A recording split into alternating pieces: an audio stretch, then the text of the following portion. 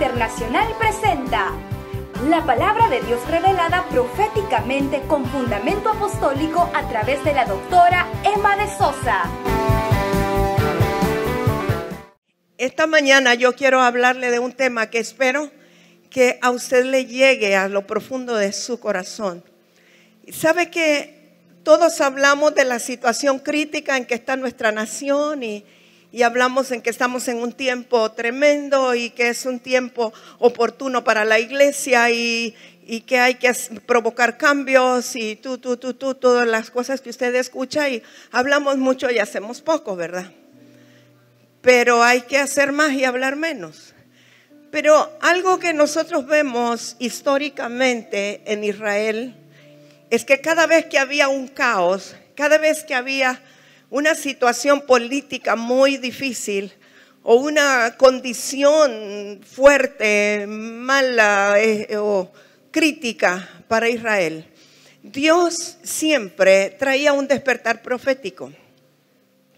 El despertar profético es necesario porque en el despertar profético se activan los sentidos espirituales, en el despertar profético se activa la revelación de la palabra. En el despertar profético se activan las visiones. En el despertar profético viene la dirección para una nación. En el despertar profético se levantan las voces de los hijos de Dios para traer direccionamiento aún al gobierno del país. Entonces yo veo que hablemos, hablamos mucho, pero es necesario que se provoque un despertar profético en la nación.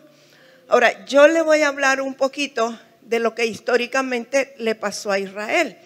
Pero antes que eso, fíjese que nosotros vemos la palabra despertar y habla de despertar el espíritu, cuando en el libro de Ageo dice que la gente toda estaba corriendo hacia sus casas artesonadas, pero la casa de Dios estaba desierta.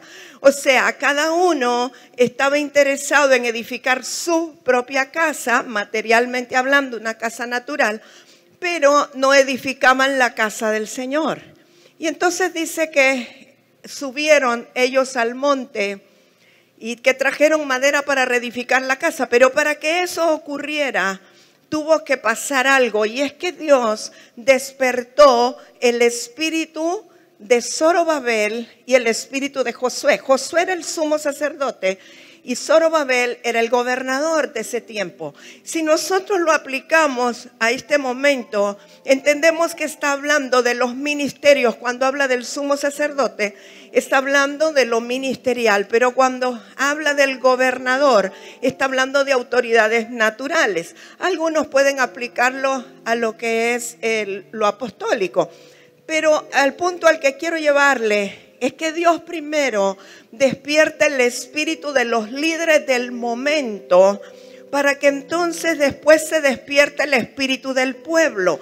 Hasta que fueron despertados los líderes en su espíritu, entonces fue despertado el pueblo. Y hasta que fue despertado el pueblo, pudieron traer madera para reedificar la casa. Y la palabra despertar que se usa ahí en el libro del profeta Geo tiene diferentes significados o diferentes acepciones. Quiere decir levantar, quiere decir provocar, quiere decir motivar, quiere decir abrir los ojos y quiere decir iniciar algo. Siempre que Dios iba a anunciar un despertar al pueblo de Israel, se tocaba el shofar como señal de una santa convocatoria. Y de hecho en las fiestas judías hay una fiesta de las trompetas que tiene que ver con sonar el shofar para llamar a un despertar, a un levantarse, a un abrir de los ojos. Ahora, ¿por qué el shofar? Porque eso no quiere decir que, quédese ahí un ratito con el shofar, Pastor Remo, por favor, lo vamos a usar de modelo. Venga para acá. No quiere decir que necesariamente en una iglesia profética tiene que haber un chofar como este para decir que es profética. No, el chofar sigue siendo un instrumento usado en Israel. Y como le dije, es un cuerno, aquí estaba pegado el cuerno al, al animal, ¿verdad? Y en Israel los shofarot, que es el plural de shofar, para que tengan todas las condiciones kosher, que tiene aquí el sello del rabinato, el animalito tiene que haber sido criado bajo condiciones específicas, con alimentación especial, y al momento de ser sacrificado se sacrificaba de una manera particular, dejando de sangrarlo, no, que no se quedara la sangre dentro del animal. Pero después, una vez que se corta este cuerno, le sacan todo el cartílago que tiene adentro, porque por dentro tenía o tiene, este tenía un cartílago, y empiezan a vaciarlo todo. Y cuando ya lo han quitado todo, entonces lo ponen al fuego para poder darle esta forma contorsionada, porque normalmente no es así, sino que es recto. Y en el fuego le dan la forma y luego lo meten al agua para que quede templado con esa forma. Es decir, al fuego y al agua, al fuego y al agua. Hoy día, para que se llame al despertar, no es un shofar lo que se toca, sino que el shofar es un símbolo de la voz profética. Es decir, que este shofar lo que representa es la vida del profeta. ¿Qué quiere decir? Un profeta que tiene que ser metido al fuego y metido al agua, metido al fuego y metido al agua. Alguien que se encorva para mostrar humildad delante del Señor y dependencia delante de Dios, para dar, como dijo el apóstol Pablo, un sonido definido, que no sea como un címbalo que retiñe, metal que resuena, sino que sea una palabra precisa. Entonces, cuando vemos un chofar, gracias Pastor Remo, lo que significa es la voz profética, así como en, en algún tiempo se tocaba el chofar para hacer una convocatoria. Al despertar, hoy día tiene que ser la voz profética. Yo creo firmemente que estamos en un tiempo en que los profetas de Dios estarán levantando para provocar un despertar, pero también llamar a la santidad. Llamar a la santidad, llamar a la consagración y llamar al despertar. Ahora, quiero decirle algo que pasó en Israel históricamente. En el tiempo en que Elí era el sacerdote, eh, dice la escritura que se había perdido la visión, que no había visión con frecuencia, que los ojos de Elí estaban oscureciéndose, que no había palabra profética. Entonces el sacerdote Elí seguía haciendo los rituales sacerdotales que él solía hacer o tenía que hacer pero él había perdido la comunión con Dios. Es decir, era un sacerdote que hacía las costumbres del sacerdocio, ministraba dentro del templo, pero él lo hacía como algo religioso, como algo rutinario, porque había perdido la comunión con Dios y no tenía una palabra direccional para el pueblo, no tenía una palabra fresca que compartir, sino que hacía los rituales. Sus hijos omnifines estaban en pecado. Dice la escritura que ellos se acostaban con las prostitutas en las puertas del templo profanaban el templo, hacían cosas inmorales y sin embargo el sacerdote Eli no podía contener a sus hijos, no podía controlarlos, no podía eh, llamarlos al orden. O sea que había un desenfreno total. Y el pueblo de Israel estaba allí sin dirección porque sin visión el pueblo se desenfrena, sin palabra profética, sin palabra direccional. Y dice que había en ese tiempo una pareja llamado Ana y Elcana. Ana era una mujer justa, una mujer de Dios. Estaba casada con Elcana, pero Ana y Elcana no habían podido tener hijos. Tenían muchos años casados y no habían podido tener hijos. Pero Elcana tenía otra mujer llamada Penina. Con Penina sí tuvo hijos, el Cana. Y dice que cada año que subían al monte para ofrecer sacrificio y ofrenda al Señor, Ana lloraba y sufría porque no podía ofrecerle un hijo al Señor. Y ella se quedaba triste porque el Cana sí podía ofrecerle hijos que tenía con Penina. Y Ana entró como en amargura, pero yo entiendo cuando leo posteriormente el cántico de Ana, que Ana era una mujer profética, que su cántico no era solo un cántico de gratitud, sino que era un cántico profético. Y entiendo que Ana percibía perfectamente cuál era la condición espiritual de Israel en ese tiempo. Y que ella gemía por la situación y la condición de Israel. Dice que hubo un tiempo, hubo un año en que Ana subió y estaba tan tocada delante del Señor. Dice que ella derramó su corazón delante del Señor. De tal forma que Elí cuando la vio pensó que estaba ebria. Mujer, digiere tu vino. Y me parece que Elí también había perdido el discernimiento. Yo casi podría decir que esta mujer estaba quebrantada delante de Dios y que el Espíritu Santo había venido sobre ella porque solo como que balbuceaba, como que decía palabras que nadie entendía, probablemente pudo haber estado hablando en otras lenguas tomada por el Espíritu Santo, pero ella estaba conmovida por la condición de Israel. No era tanto, cuando usted lee todo el contexto y ve lo que esto resulta, se da cuenta que el dolor de Ana no era tanto por no tener un hijo. El dolor de Ana era por la condición de Israel, porque ella sabía lo que eso representaba, lo que significaba. Y Ana se derramó tanto delante del Señor, dice que Elí la bendijo. Y que después de eso, el Cana se acercó a ella, ella concibió y dio a luz un hijo. Pero Ana había hecho un pacto con Dios. Y le dijo, si me das un hijo, yo te lo voy a entregar para que te sirva. Yo lo entregaré a ti, lo llevaré al templo.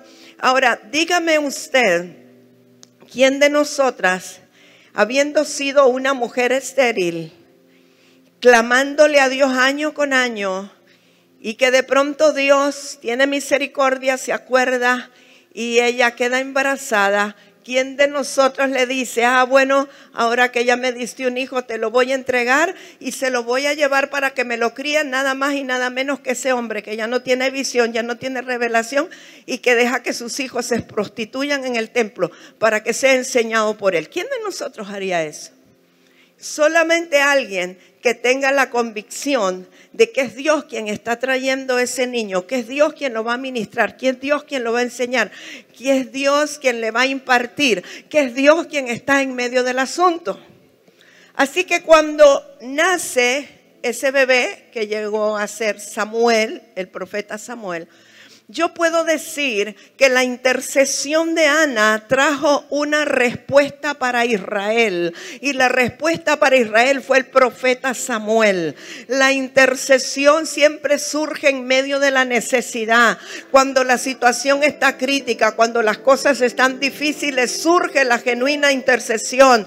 Y cuando la intercesión es del corazón, Dios trae la respuesta. Y siempre la intercesión trae una respuesta profética Quiero decirle que todos los intercesores son, deberían ser proféticos, aunque no sean profetas, pero todos los profetas deberían ser intercesores. Y todo profeta, usted pregúntele a los profetas, todo profeta nació en la intercesión, o en la propia o en la de un grupo. Así que Samuel vino a ser la respuesta para la crisis de Israel, vino a ser la respuesta de una intercesión. Samuel llegó a ser el profeta de Israel del cual se dijo que ninguna palabra cayó a, a, tierra. Es decir, que todo lo que él profetizó, todo lo que él declaró se cumplió. Samuel vino a ser padre de profetas. Él fue el que estableció las escuelas proféticas en Ramá, en Nayot de Ramá. Él fue padre ministerial profético de David. O sea, que Samuel vino a ser un juez, pero vino a ser un profeta para traer dirección a Israel, para rescatar a Israel de la inmoralidad y de, todo el problema en el cual estaba y del paganismo, etc. O sea, Samuel, la respuesta de Dios para Israel producida por la intercesión de una mujer llamada Ana.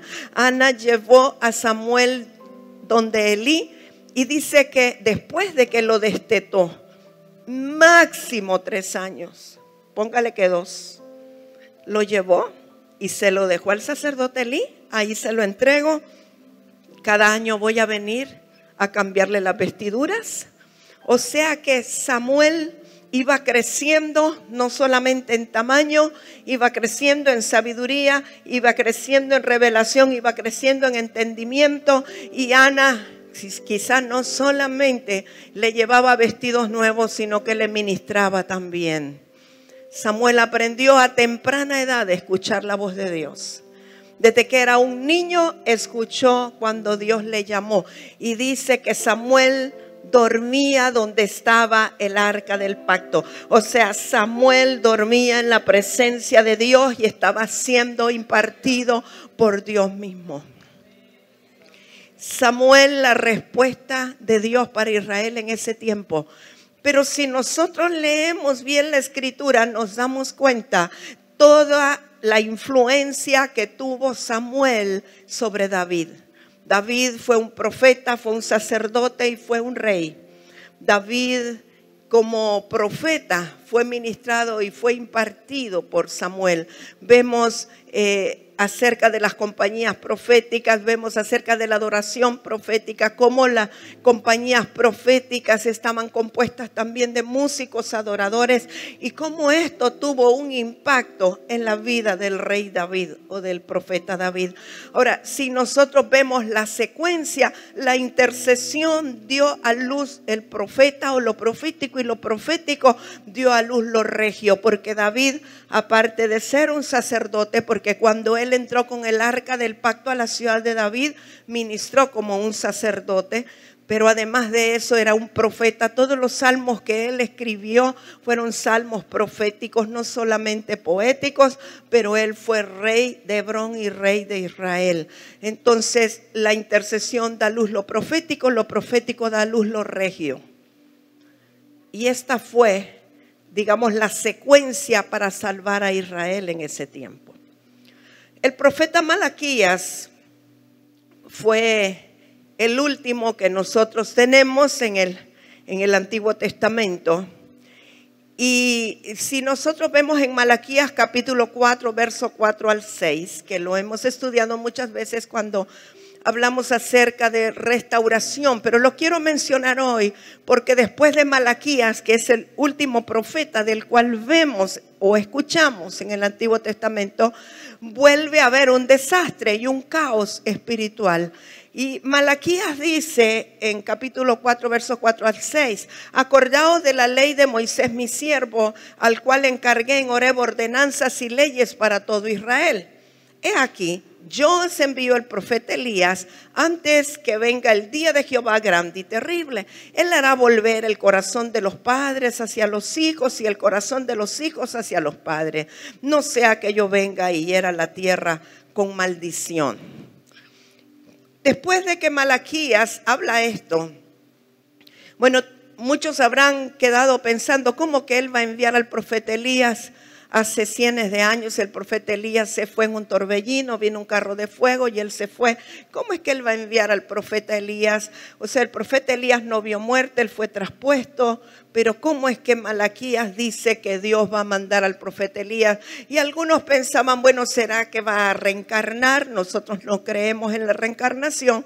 Entonces sabemos que Malaquías está hablando del mismo espíritu profético que reposó sobre Elías, que iba a ser enviado posteriormente, pero dice antes de que venga el día de Jehová grande y terrible. Y dice que hará volver, que ese espíritu profético va a hacer volver el corazón de los padres a los hijos, de los hijos a los padres.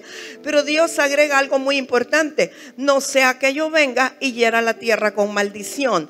Es decir, si no hay una reconciliación de generaciones, si los hombres no se vuelven al Padre, si los padres no se vuelven a los hijos, si no se reconcilian las generaciones, yo tendré que venir y otra vez destruir la tierra o maldecir la tierra, como lo hizo en tiempos de Noé, como lo hizo en tiempos de Sodoma y Gomorra. O sea, Dios está dando una alternativa para que eso no ocurra.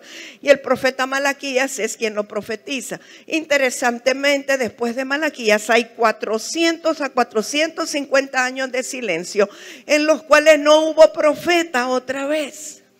Imagínense, está hablando Malaquías de que el espíritu profético va a venir y de que va a ser una, una labor especial en la tierra. Y sin embargo, después de él, se callan los profetas, no hay profetas, no hay nadie que traiga dirección. Otra vez Israel está un caos. Eh, otra vez no hay visión, otra vez no hay direccionamiento por 400 y pico, casi 450 años.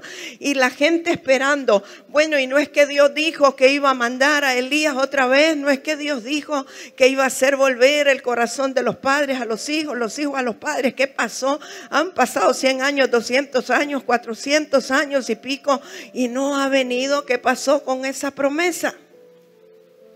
Y entonces un día está un hombre, un sacerdote llamado Zacarías. Él está ofreciendo servicios sacerdotales porque le tocaba a él y a su grupo de sacerdotes levíticos el oficiar en el templo. Zacarías y su esposa Elizabeth eran una pareja justa delante de Dios, pero aunque eran justos y eran de edad avanzada, no habían podido tener hijos tampoco. Así es que estaba Zacarías junto al altar del incienso, que es donde se hacían las oraciones. Y él estaba ahí llorando, acongojado, orando, no sabemos exactamente qué era lo que Zacarías estaba orando, pero yo me atrevo a decir, Zacarías estaba gimiendo por la condición de Israel. Él como un hombre justo, como un hombre santo delante del Señor, estaba compungido porque Israel otra vez estaba sin dirección, porque Israel otra vez estaba a la deriva había un desorden, los romanos estaban ahí, pero la presencia del pensamiento helenístico griego estaba eh, teniendo mayor influencia, o sea, se estaba perdiendo el amor por el Señor, la ley de Dios, era un desorden.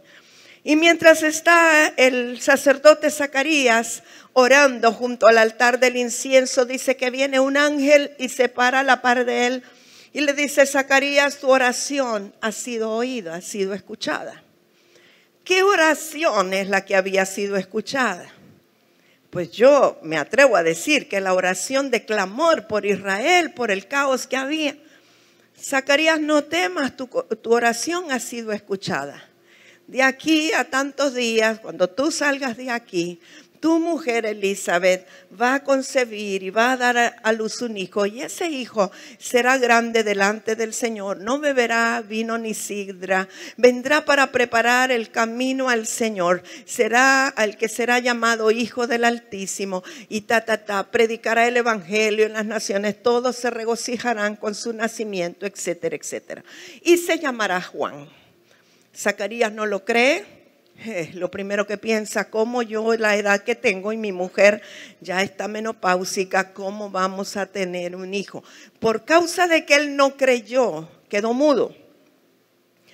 Pero salió, terminó de hacer los oficios sacerdotales y él llega donde su esposa y parece que no se necesita hablar para hacer lo que tenía que hacer porque mudo, mudo, pero su esposa quedó embarazada. Así es que cuando llegan los nueve meses y da a luz, a, Elizabeth da a luz a ese hijo. Y todos dicen, ¿cómo se va a llamar? Y que yo ya me imagino todo el mundo opinando, ¿cómo se va a llamar? Zacarías no podía hablar. Y entonces dijo que le trajeran una pizarrita, una tablilla, y ahí escribió Juan. Y todos decían, bueno, ¿y por qué? Él no podía explicar lo que le había pasado, que un ángel había venido, etc. Entonces fue llamado Juan. La intercesión de Zacarías dio a luz lo profético otra vez. Entonces Juan fue criado de una manera especial. Como dije, así como es criado el animalito del cual se le quita el, cuerno para hacer un chofar. Juan fue criado de una manera especial. No iba a tomar vino ni sidra, iba a tener una dieta especial. Y Juan sabía perfectamente que él había venido a la tierra para preparar el camino al Mesías que por lo tanto él no se iba a contaminar, que él iba a ser una persona dedicada al Señor para poder escuchar con claridad la voz de Dios y saber qué era lo que tenía que predicar. La predicación de Juan el Bautista cuando llegó a la edad en que él ya podía predicar o que era el tiempo de anunciar la venida del Señor. Interesantemente su predicación creo que eran nueve palabras, arrepentíos, que el reino de los cielos se ha acercado. Diez palabras. Pero era exactamente lo que Dios le dijo que hablara. Juan el Bautista fue un profeta exacto porque no habló de más ni de menos. Su predicación fue arrepentidos que el reino de los cielos se ha acercado. Dice la escritura que Juan fue el más grande de los profetas, de los nacidos de mujer, es decir, no de los del nuevo nacimiento, sino de los del antiguo pacto, de los que solo habían nacido de papá y mamá natural, biológico. Él no nació del reino, él no nació del agua y del espíritu, porque él perdió la cabeza antes de que Cristo muriera y resucitara, pero él fue el más grande de los del antiguo pacto. Así es que él vino a preparar el camino al Mesías. Y después de esto, después de que Él dice arrepentidos que el reino de los cielos se ha acercado y comienza a bautizar a las personas, los bautiza en el bautismo de arrepentimiento o el bautismo de Juan. Y las personas ya estaban listas para recibir al Mesías. Entonces Juan es el anunciador del reino. Juan como profeta introduce a Jesús al ministerio, lo bautiza delante de todos para que haya una señal visible, indubitable de que el Espíritu Santo desciende sobre Jesús en forma como de paloma. Los cielos se abren y Dios dice, aquí mi Hijo muy amado en el cual tengo complacencia. Una vez más nosotros vemos que la intercesión de un sacerdote produce una respuesta que es un profeta. Y la vida de este profeta abre camino a lo regio, en este caso el Señor Jesucristo. Bueno, puede aplaudir, claro que sí, pastora Yonalana. Ahora bien, este resurgimiento de lo profético trajo un despertar a Israel. Pero no un despertar cualquiera, porque lo que ocurrió en Israel con el ministerio del Señor Jesucristo trajo una repercusión para todo el planeta Tierra hasta nuestros días. Entonces, muchas veces una intercesión profunda del Espíritu puede provocar la respuesta inmediata, que es lo profético, pero lo profético le abrirá camino a algo que es trascendental y que es la respuesta que el país necesita o que el mundo necesita. Entonces, no tenemos que menospreciar la intercesión porque es necesaria antes del despertar profético. Pero algo importante es que lo que Zacarías trajo, o la respuesta que trajo, aunque Juan el Bautista como profeta, era el cumplimiento parcial de la profecía de Malaquías, de la cual acabamos de hablar en Malaquías 4, verso 4 al 6. ¿De qué manera? Nosotros vemos que en determinado momento cuando Jesús ya está ejerciendo su ministerio, hay un momento en que él dice que sube al monte a orar, al monte más alto, dice la escritura, no le da nombre al monte. Algunos han dicho que es el monte Tabor, pero estamos seguros que no es el monte Tabor según la historia, sino que puede ser el monte Hermón, no sé. La cosa es que el, Jesús se lleva a Pedro, Juan y Santiago en determinado momento a orar. O sea que algo grande iba a ocurrir, puesto que no llevó a los doce, solo llevó a los más cercanos. Y estando ellos allá arriba, en el monte, en la cumbre del monte, dice que Jesús se comenzó a transfigurar, es decir, sus vestiduras comenzaron a resplandecer, era un, brillo resplandeciente, sus ojos como llamas de fuego, era como un Cristo glorificado. Más o menos la descripción que usted encuentra de Jesús en Apocalipsis. Es decir, parecía como que Jesús se hubiera quitado el estuche natural, el estuche eh, carnal, corporal, de un cuerpo físico, y se había mostrado como el Cristo glorificado en ese momento. Pero no solo eso ocurre, sino que a su lado está Elías y al otro lado está Moisés. Dice que Moisés y Elías estaban allí como una proyección a la par de Jesús. ¿Qué fue lo que dijo Malaquías 4? Acordaos de la ley de Moisés, mi siervo, al cual yo di eh, ordenanzas en Oreb, y luego dice, aquí yo envío al espíritu de Elías o envío a Elías. O sea, Malaquías había hablado de Moisés y de Elías. Y de pronto está Jesús en el centro y a un lado está Moisés y al otro lado está Elías. ¿Por qué? Moisés representa la ley, Elías representa los profetas o lo profético.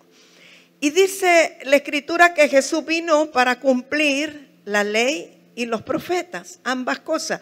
Él no vino para abolir nada, él vino para cumplir lo que decía la ley y lo que profetizaron los profetas.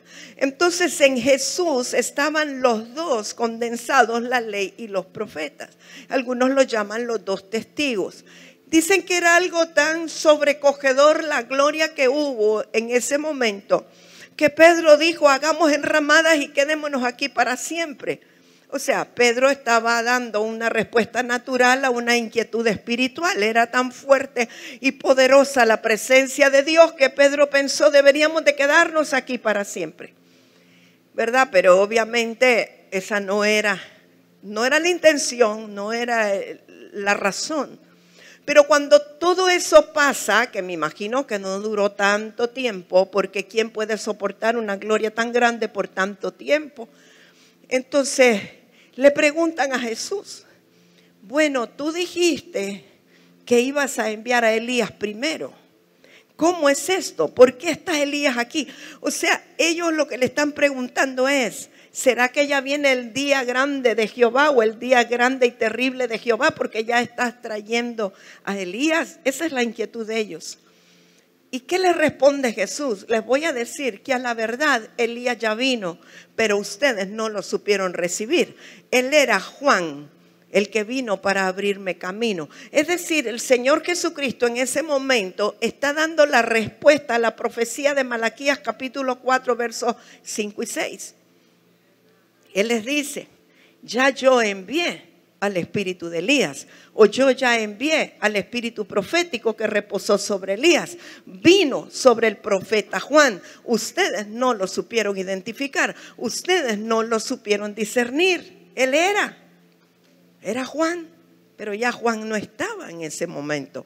Ahora, ¿por qué le digo que ese es el cumplimiento parcial? Porque aunque sobre Juan el Bautista estaba el espíritu de Elías o el espíritu profético, todavía no ha venido el día de Jehová grande y terrible. Y la profecía de Malaquías dice, aquí yo envío al espíritu de Elías antes de que venga el día de Jehová grande y terrible. O sea, resumiendo, las profecías del antiguo pacto, muchas de ellas o la mayoría, tienen dos cumplimientos uno en el tiempo de Jesús y otro en la era del Espíritu Santo. Entonces en el tiempo de Jesús se cumplió parcialmente parte de la profecía porque era sobre Juan el Bautista que vino el espíritu de Elías o el espíritu profético. ¿Para qué vino? Para abrir camino al Señor, para llamar a la gente al arrepentimiento, para provocar un despertar en los corazones, para que las personas abrieran sus ojos espirituales, para que se levantaran de su comodidad, para que se definieran por el Señor, así como el llamado que hizo Elías en el Monte Carmelo, que muchos se decidieron por el Señor, así ocurrió en el tiempo de Juan el Bautista, porque el espíritu que reposó sobre Elías estuvo también sobre Juan el Bautista. Ahora, si nosotros estamos entendiendo que será un cumplimiento parcial, y que todavía hace falta el cumplimiento total o completo de esa profecía de Malaquías, y que el espíritu profético o el espíritu de Elías todavía tiene que operar o tiene que venir para operar proféticamente, para hacer volver el corazón de los padres a los hijos y los hijos a los padres, para evitar que Dios destruya la tierra con maldición, quiere decir que ahora, en la era del Espíritu Santo, usted y yo, nosotros, la iglesia del Señor Jesucristo, la iglesia profética, somos esa respuesta sobre la cual nosotros somos la iglesia, así apláudale al Señor, sobre la cual el Espíritu profético está operando o está queriendo operar para que nosotros seamos lo que traigamos lo regio o el establecimiento del reinado de Jesús a la tierra. El Señor Jesucristo viene y estamos escuchando desde tiempos del apóstol Pablo que Él viene pronto. El pronto pueden ser miles de años o pueden ser meses, no sabemos. Gigi Ávila, un hombre de Dios tremendo, siempre dijo, ¿verdad? Que ya el Señor ya viene. Señor viene pronto, el Señor ya viene, por algunos viene individualmente, pero el Señor va a venir, obvio, por toda la iglesia. Pero el Señor tiene primero, o el Espíritu Santo, que preparar la iglesia o el pueblo por el cual el Señor viene. La labor del Espíritu Santo es precisamente preparar ese pueblo que va a recibir a Jesús, ya no como Salvador, sino como Señor. Él viene como Señor sobre su pueblo, como Señor sobre su iglesia. Y para recibirlo como Señor, nosotros necesitamos tener un corazón limpio, dispuesto, sin mancha, sin arruga, ni cosa semejante, tal y como el Espíritu Santo lo está queriendo preparar en este tiempo. ¿Cuál es mi mi mensaje central este día. Necesitamos volvernos a la intercesión de corazón. Necesitamos volvernos a la oración con gemido, con llanto, con súplica, como estuvo Ana, como estuvo Zacarías, clamando por las naciones de la tierra. Tiene que ser una intercesión genuina, con un corazón contrito, humillado, sabiendo que Dios va a responder. Estar prestos para la respuesta profética que Dios va a dar. Para el despertar profético que tiene que venir sobre la tierra, no solo sobre las iglesias proféticas.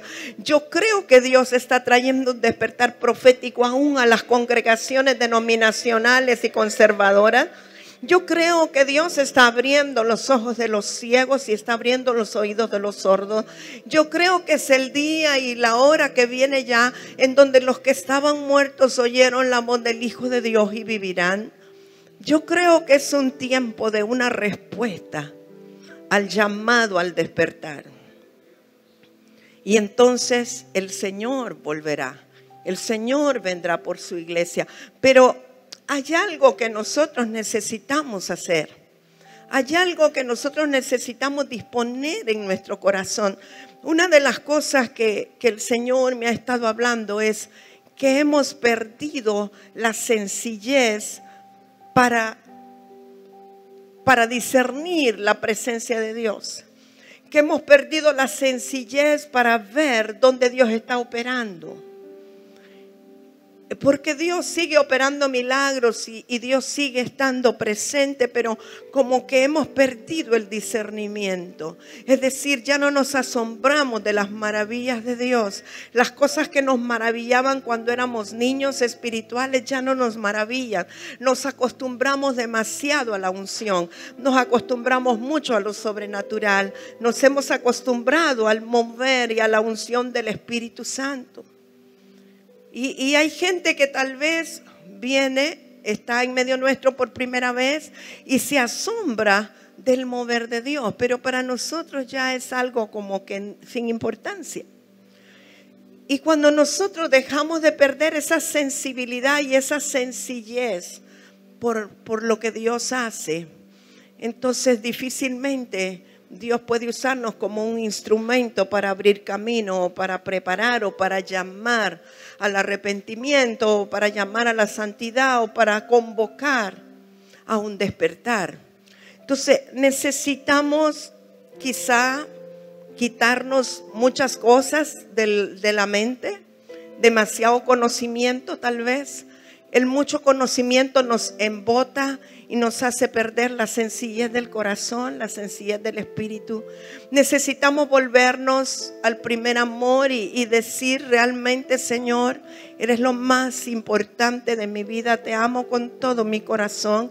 Necesitamos valorar la unción corporativa, necesitamos valorar la unción y la presencia del Espíritu Santo y la unción que está en mi hermano, en mi hermana, porque eso me edifica, eso me hace activarme, reactivarme. Necesitamos volver a esos momentos de sencillez en donde llueva, truena o relampaguee. Yo quiero estar en la reunión de los santos donde no me lo pierdo por nada. Necesitamos volver a esa sencillez. Yo nunca olvido la imagen de Morenita en una bicicleta con, con, sus cuatro niños, uno en la canasta, otro en el tubo, otro en la parrilla y otro aquí, pero no se perdía reunión. Y ahora, ay no, que no tenía jalón, ah, que no pude. O sea, hay cosas que nosotros tenemos que volver a ellas. Nunca olvido, hermanos, que tenían un carrito que apenas andaba, pero no tenían combustible y no tenían dinero para ponerle, pero creían en el Dios milagroso que le llenaba el tanque para llegar a la reunión. Pero ahora nos atrasamos por cualquier cosa porque no valoramos la presencia de Dios aún en medio de los hermanos. Necesitamos volver a esa sencillez, amados, en que nosotros podamos ser provocadores de los milagros y de la sobrenaturalidad de Dios porque le hemos creído. En esta misión argentina pudimos ver un respaldo de Dios increíble, pudimos ver liberaciones, pudimos ver situaciones que Dios, en las cuales Dios obró de una manera sobrenatural, extraordinaria. Y, yo me preguntaba, ¿y por qué ocurren aquí todas estas cosas sobrenaturales? Quizá porque es un pueblo que no está acostumbrado a verlo. Entonces estaban tan sedientos. Yo hice un llamado, el, lugar que estuve un domingo, ya para terminar esa misión, hice un llamado específico a aquellos que querían consagrar de nuevo su corazón al Señor. Y pasaron como tres, cuatro filas de gente y empecé a orar por ellos. Pero cuando yo abro mis ojos estaba toda la congregación enfrente. Y yo, Dios mío, le dije a Rigo, Rigo, ven, ayúdame por favor. Y obviamente pasó una hora y estábamos todavía imponiéndole manos a la gente, dos horas y todavía la gente estaba tan hambrienta y pasaban tantas cosas extraordinarias porque la gente estaba sedienta de algo. Eh, porque no estaban acostumbrados quizá a tener la unción en medio de ellos. Nosotros necesitamos arrepentirnos de menospreciar la unción y de no valorarla. Necesitamos respetar la unción y el manto que está sobre aquellos que Dios reposa la unción. Creo que es un tiempo en el cual la actitud de nuestro corazón es sumamente importante para que el clamor sea escuchado. Y yo me pongo a ver cuál era la actitud de Ana y yo le recomiendo que usted lea en Primera de Samuel y vea toda la condición de Ana y veo cuál era la condición de, de Zacarías y cuál era la condición de su corazón cuando ellos estaban clamando al Señor para poder tener una respuesta. Y yo creo que lo que Dios necesita de nosotros o pide de nosotros no es tanto que oremos más, sino la condición o la actitud con la cual oremos. Porque no es del tiempo que podamos invertir. Usted mira, por ejemplo, cuando Lázaro murió y Jesús inmediatamente se conectó con el Padre y Jesús vio que el Padre quería resucitar a Lázaro. Por lo tanto, Jesús no corrió a sanar a Lázaro, porque era necesario que Lázaro muriera, ya que él vio que Dios lo quería resucitar. Pero cuando él llega a Betania, estaba Marta esperándolo en el camino. Y lo primero que Marta hace cuando ve a Jesús es reclamarle. Si tú hubieras estado aquí, mi hermano no habría muerto. Jesús no se inmuta, él sigue. Dice, quiero ver a María. Y él llega, María se había quedado en la casa. Interesantemente, las palabras que María le dice a Jesús son las mismas que le dijo Marta, pero cambió el tono y la actitud. Dice que María se postró a los pies de Jesús. Y yo puedo intuir que María le dijo, Señor, si tú hubieras estado aquí, mi hermano no habría muerto. Las palabras fueron las mismas, pero el corazón fue diferente. Entonces no es lo mucho que ores, no es las palabras que ores, es con qué corazón tú estás pidiendo al Señor. ¿Qué tanto tú crees que el Señor te puede responder? ¿Qué tanto amas al Señor? ¿Cómo está tu corazón sensible?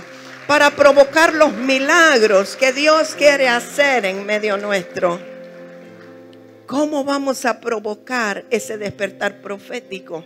Porque los intercesores son los llamados a provocar la respuesta de esa generación profética y ese despertar profético en medio de la iglesia, en medio del pueblo, para que sean activados los dones espirituales, para que aún el discernimiento sea activado, para que podamos provocar algo que sea digno del Señor.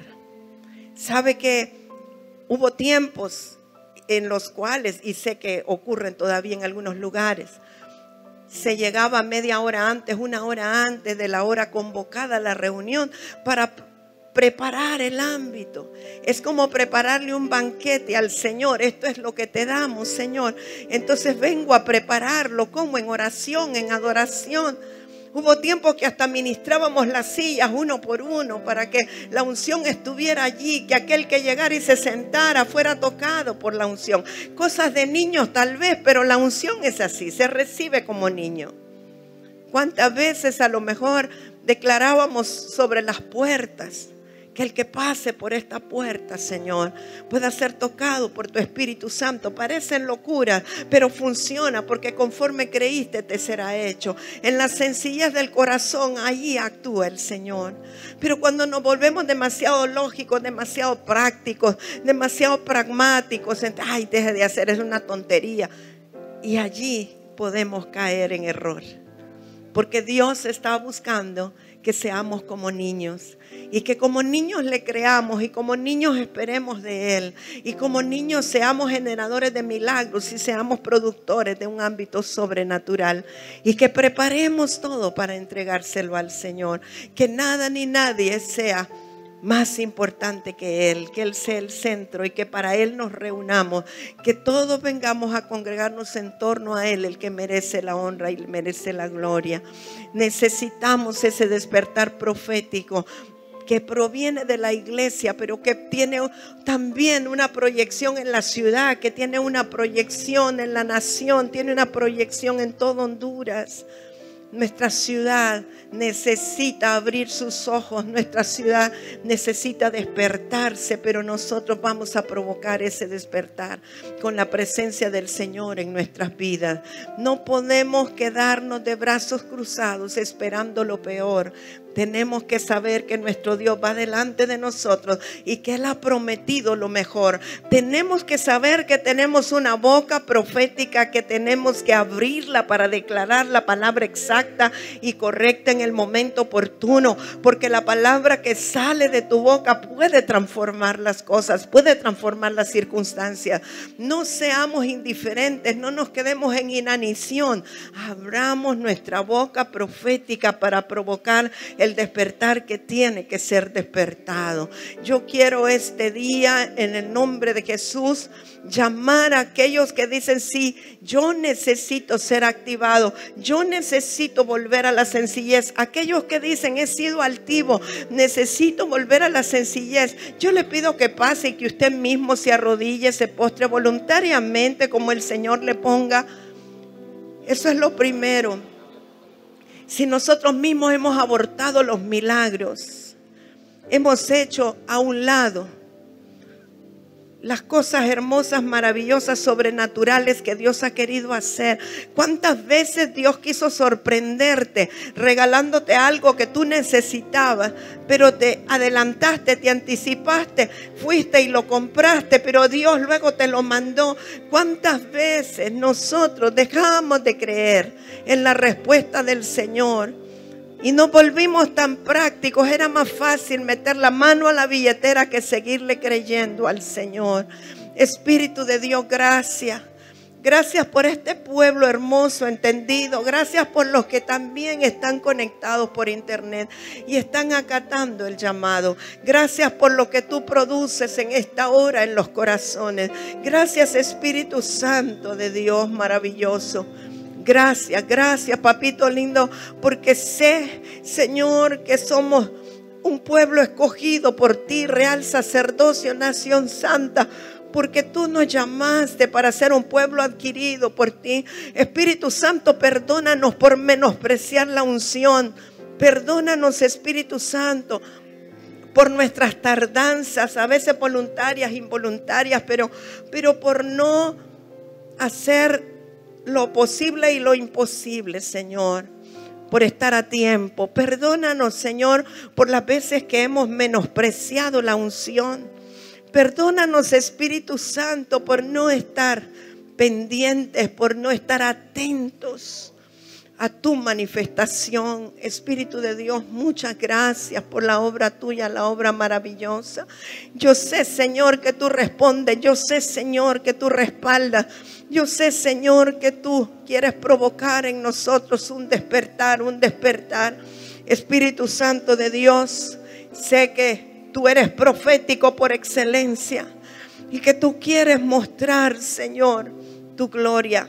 Que el espíritu profético que estuvo y reposó sobre Elías y que reposó sobre Juan el Bautista es el espíritu profético que está reposando ahora sobre nosotros. Señor, nos comprometemos a buscar la santidad, a buscar, Señor, ese tiempo contigo, a buscar los tiempos íntimos contigo, tiempos de adorarte, tiempos de encontrarnos contigo. Perdona Dios nuestro excesivo intelecto. Perdona Señor la insensibilidad a las cosas sencillas, a lo sobrenatural tuyo, Espíritu de Dios. Muchas gracias. Espíritu Santo, gracias. Gracias por tu pueblo hermoso. Gracias, gracias, gracias Espíritu de Dios. Gracias. Yo sé que el Señor escucha. Sé que el Señor ha escuchado. Sé que Él escucha. Gracias Espíritu Santo. Gracias. Gracias Espíritu de Dios. Gracias Espíritu Santo. Gracias maravilloso Espíritu Santo. Gracias Espíritu de Dios. Padre, concédele a Benjamín el poder tocar su guitarra. Concédele, Señor, por favor, el levantarse temprano y buscarte como ese adorador que él es y que ha sido. Concédele toda la movilidad en sus dedos, Señor, para poder tocar la guitarra. Espíritu de Dios, gracias por tu obra en Benjamín, que yo sé que tú la completas, tú la perfeccionas, Señor. Háblale al oído todo lo que quieres hablarle. Háblale acerca de su ministerio, de su llamamiento. Háblale en este tiempo, Señor, todo lo que Él necesita escuchar, porque sé que Él es una voz para esta nueva generación. Espíritu Santo. Ramaiso, barramaisi, carabaiso, barrababababababaiso. En el nombre de Jesús, un milagro creativo, un milagro extraordinario, que la recuperación sea instantánea, pronta. Ramaiso, bababa, ramaiso, barramaisi, carabaiso. En el nombre de Jesús. Padre, gracias. Gracias por la vida de tu Hijo.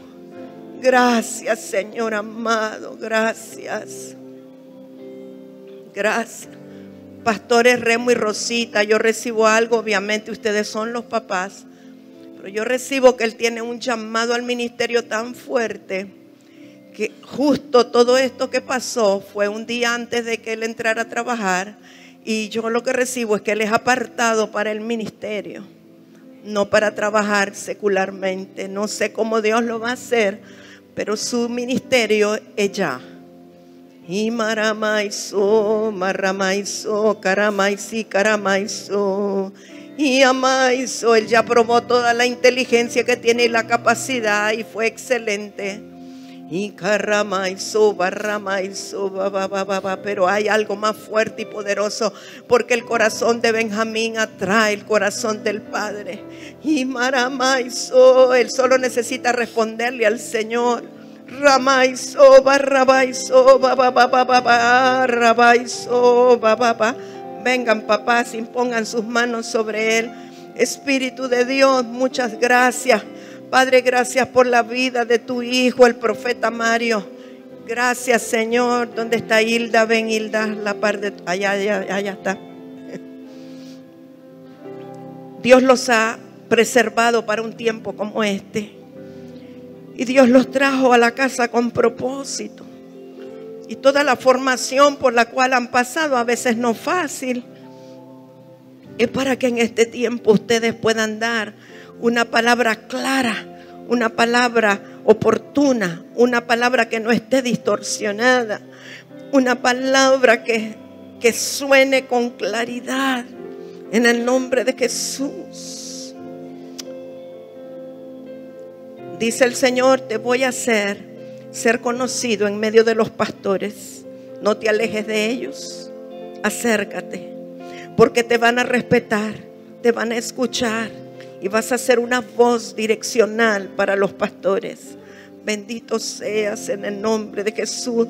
Bendita seas, mujer virtuosa. Viene una gracia pastoral más fuerte sobre ti para cuidar del rebaño. Y palabra de sabiduría saldrá de tu boca y serás una maestra muy contundente. En el nombre de Jesús, bendito sea. Hay viajes por delante, pero hay mucho trabajo local, hay mucho trabajo local. Gracias en el nombre de Jesús. Gracias, papito lindo, en el nombre de Jesús. Padre, muchas gracias. Yo te bendigo. Morenita, ponete de pie.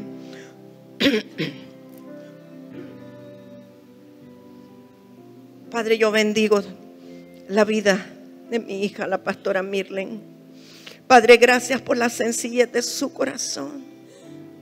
Tienes que enseñarle a tu gente el poder de lo sobrenatural. Tienes que enseñarles a depender del Señor en todo. Tienes que mostrarles el poder y la manifestación del Señor. Ramaiso, Kibaramaiso, mamá y tienes que impartirles. Y Kamaramaiso, Bababababaiso una unción de milagros, una unción de milagros, una unción sobrenatural de milagros. Venga la intercesión con un corazón contrito y humillado. Y y espera las respuestas, espera las respuestas, espera las respuestas.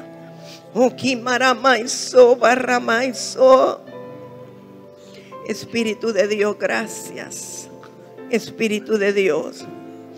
Espíritu de Dios. Gracias por ella. Gracias Espíritu Santo. Gracias, gracias Espíritu de Dios. Gracias, papito lindo. Y Lana, ven por favor. Desde que eras una niña se te dio una palabra. Que Dios iba a hacer milagros a través de tu vida y Dios no ha olvidado esa palabra. Yo sé que todo este tiempo ha sido una preparación, pero tu tiempo ha llegado, tu hora ha llegado que te puedas levantar en lo sobrenatural y que aún no calles, sino que hables con una voz de trueno, que lo que tú digas sea escuchado en los cielos y también en los infiernos. Yo vengo declarando en tu vida una activación de lo profético con mayor fuerza, con mayor fuerza en el nombre de Jesús. Rama y mama. Aún tu adoración va a resonar, tu adoración va a resonar y va a producir algo en el ámbito espiritual. Rama y aún las dificultades que se presenten en la escuela, tú sabes que no es naturalmente que se resuelven, tú sabes que es en el ámbito del espíritu, tú sabes que no es con lógica humana. Sabes que es espiritualmente en el nombre de Jesús. Yo vengo declarando que ese corazón sencillo, ese corazón sencillo se vuelve todavía más sencillo, que no hay altivez, no hay nada que lo detenga. En el nombre de Jesús. Y ramaiso, maramamamamaiso, ramaiso, bamamamamaise. Y. La unción está sobre ti, la unción está sobre ti, una unción poderosa de milagros, de lo sobrenatural. Ramaiso. Espíritu Santo, gracias. Gracias, Espíritu de Dios. Vengo declarando un despertar, un despertar, un despertar, un despertar, un despertar, un despertar. Roxana, ponte en pie, ponte a la par de tu esposo. Ven, Rafael. Josué, Rafael. Dese la mano. Padre, gracias por la vida de ellos porque no se conforman con la mediocridad, Señor, sino que buscan más y más. Yo vengo declarando un despertar profético en sus vidas en el nombre de Jesús, que lo que estaba escondido sale a la luz y lo que no se veía se comienza a ver en el nombre de Jesús. Comiencen profetizando en casa, comiencen declarando sobre sus hijas, comiencen profetizando aún allí en la cocina. Yo te veo en la cocina profetizando en el nombre de Jesús y en la puerta de atrás que puedan declarar la palabra de vida, la palabra de autoridad. Rama y so, marama y so, y marama y so, rama, mamá, mamá. El poder de Dios sea sobre ti un cambio en este cerebro, un cambio, no que vas a dejar de tener la inteligencia y la sabiduría, pero lo del espíritu va a estar por encima Roger Castillo, ven para acá donde estás. Y marramaizo, kimaramaizo, barrabaizo. ¿Sabes que, que Dios te ha puesto ese hombre allí para que tú le impartas espiritualmente y tú aprendas tecnológicamente? Pero quiero que le pongas las manos para que él ya no lo intelectualice todo, sino que primero lo ponga delante del Espíritu Santo. Ora por él, imparte. Gracias, Wendy, ven por favor. Dios por la vida de tu hija. Padre, gracias por la vida de Wendy. Gracias por todo lo que tú has depositado en el Espíritu, en ella.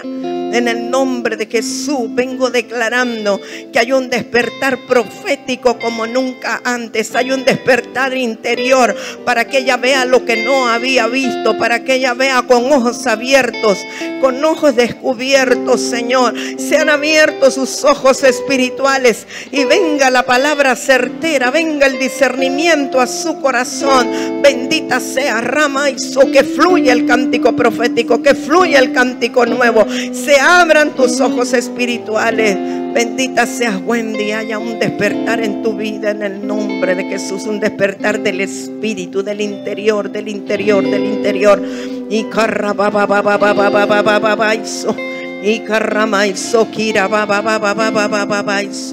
Espíritu Santo, gracias. Que toda ella, toda ella sea llena de la unción.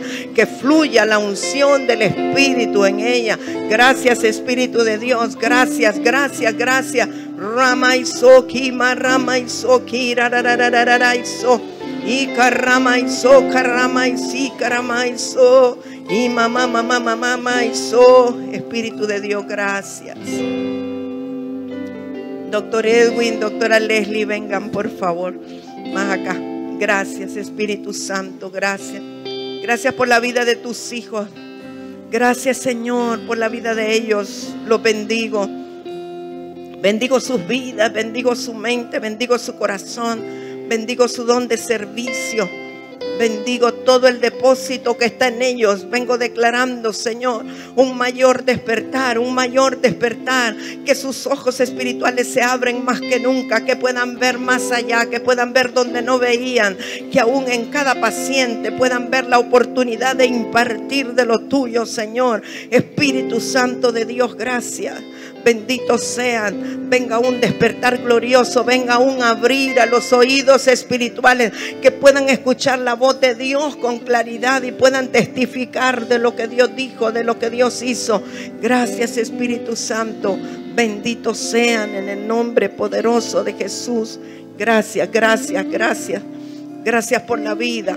Gracias por la vida, gracias, gracias, gracias por el Espíritu, gracias por el Espíritu Santo que opera, gracias, gracias por el Espíritu de Dios, gracias Espíritu Santo, gracias maravilloso Espíritu Santo, gracias, gracias Espíritu Santo, gracias Espíritu de Dios, muchas gracias Señor, gracias por la obra de tus manos, gracias Espíritu Santo.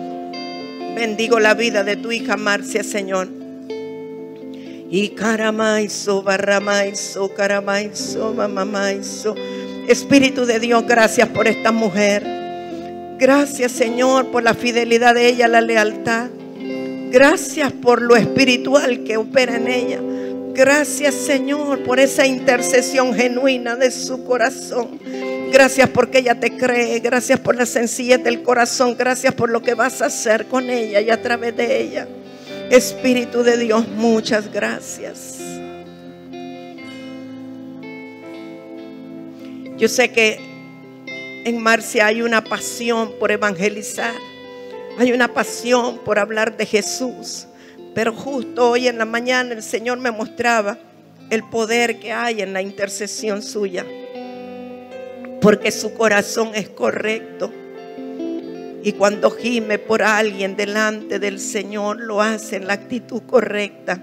Yo la bendigo y declaro un despertar, un despertar, un mayor despertar profético, un mayor despertar a los dones espirituales, a los dones proféticos, un mayor despertar del discernimiento en el nombre poderoso de Jesús.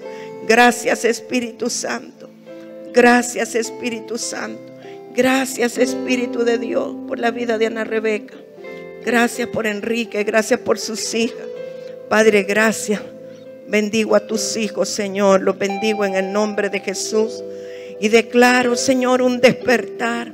Que ellos puedan despertarse espiritualmente. Señor, y tener una palabra certera que convoque que convoque a la santidad y convoque a la intercesión en el nombre poderoso de Jesús. En el nombre de Jesús, un tiempo nuevo, un tiempo nuevo, un tiempo nuevo, un tiempo nuevo, un tiempo nuevo en el nombre poderoso de Jesús. Gracias, papito lindo. Gracias en el nombre de Jesús. Gracias. Te bendigo, Ana Rebeca. Te bendigo. Y declaramos un despertar en la casa declaramos un despertar, póngase en pie, ya le voy a entregar a hermana Gina, pero reciba usted esa palabra y reciba usted eso hoy, que hay un despertar.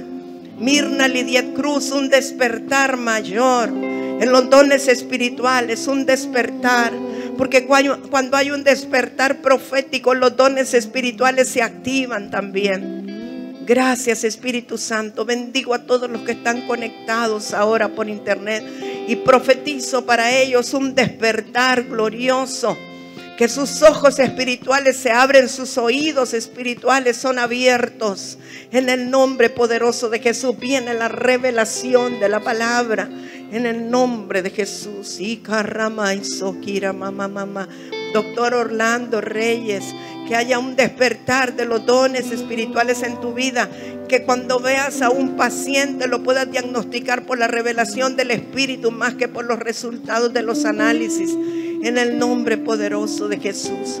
Gracias Espíritu Santo de Dios, muchas gracias. Gracias Señor.